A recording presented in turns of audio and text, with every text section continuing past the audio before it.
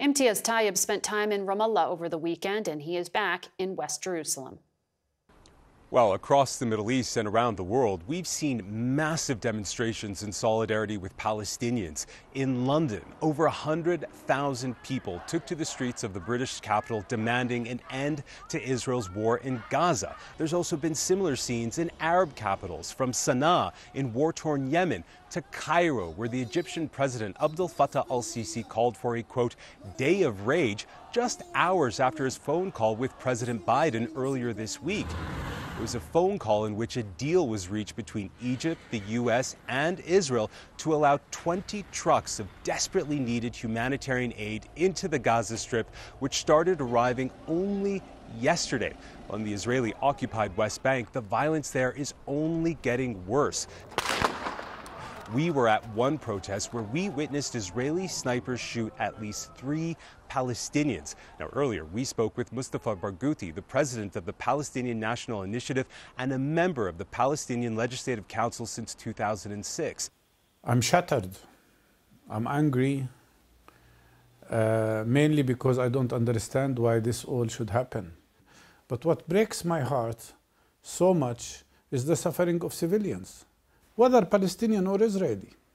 And what I don't understand, why the President of the United States comes here and instead of telling Israel enough is enough, you wanted to respond, you responded, you already killed 4,000 Palestinians, stop. Instead of that, he's encouraging them to have an invasion, a ground invasion. So you think President Biden's visit was a catastrophic mistake? Catastrophic from three aspects. First, it was a huge political and diplomatic failure as I told you, because nobody wanted to meet with him except Israelis. Second, it's a strategic mistake because he's dragging the United States into a very dangerous area where war crimes are committed. And third, because he is consolidating the absence of peace process. Do you see a scenario where this ends? Yes, one scenario. There is no other scenario.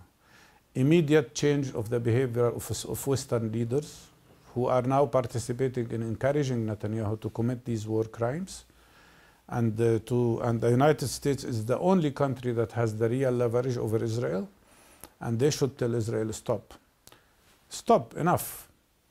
Let's have ceasefire.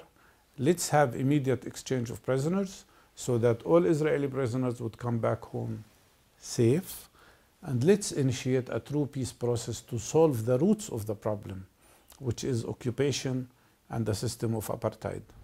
Now, efforts to create a Palestinian state have been at a standstill for years now, largely because Israeli Prime Minister Benjamin Netanyahu's successive hard right governments have been firmly opposed to it. And while the Biden administration continues to back calls for a peace process that would lead to a two state solution, it's done very little practically and diplomatically to advance that goal.